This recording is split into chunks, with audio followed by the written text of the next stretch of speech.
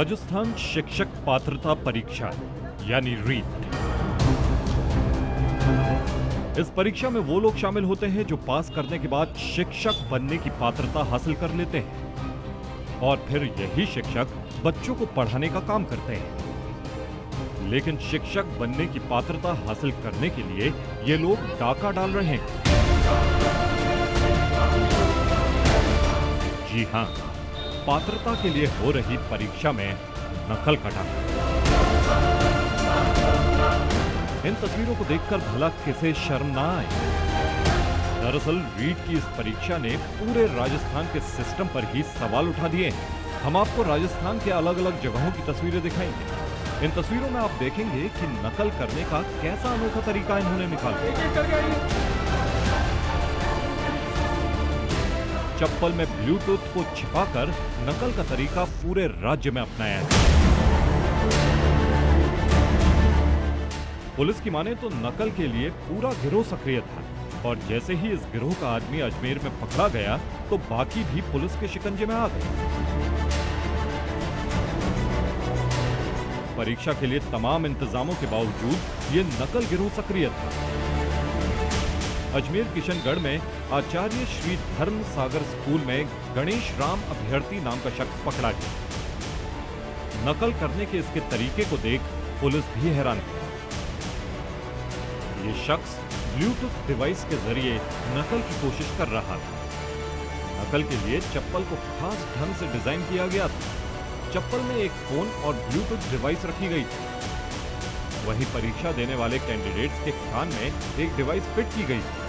परीक्षा केंद्र के बाहर से कोई उन्हें नकल करने में मदद करने वाला था।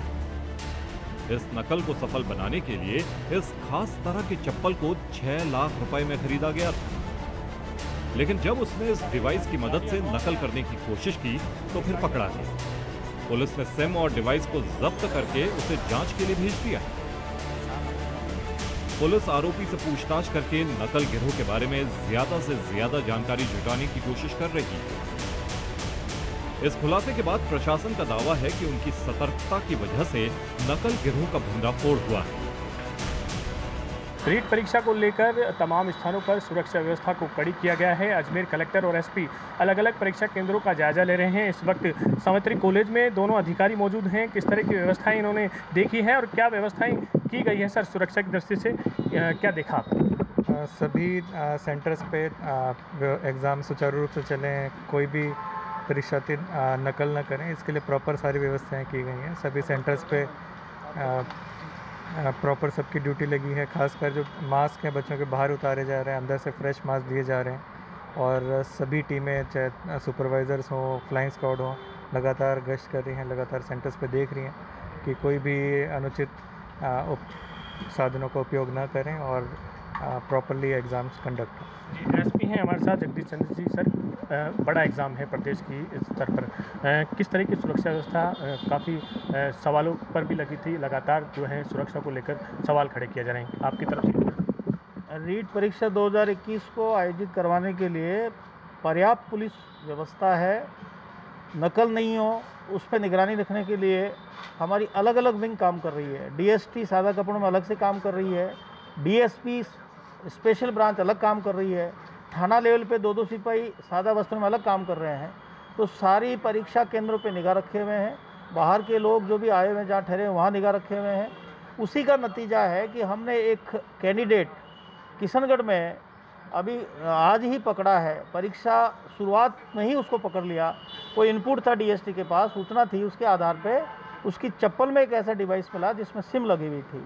और एक छोटा सा ब्लूटूथ उसके कान में था, जिसको डिटेन कर लिया है। उससे पूछताछ जारी है, लगातार हमारी टीमें पूछताछ कर रही है। और किससे उसका लिंक था? इस गिरोह में कौन मास्टर माइंड है और कौन कौन कैंडिडेट इस तरह की डिवाइस का इस्तेमाल कर रहे हैं? सारी पूछताछ चल रही है। अब परीक्षा केंद्रों पर न सिर्फ़ सुरक्षा को कड़ा किया गया है, बल्कि सतर्कता भी बढ़ा दी गई पुलिस ने नकल करने वाले गिरोह को शिकंजे में तो ले लिया है, लेकिन इन चप्पलों की गुत्थी नहीं सुलझ पा रही। जयपुर से अशोक सिंह घटी के साथ The auto report is really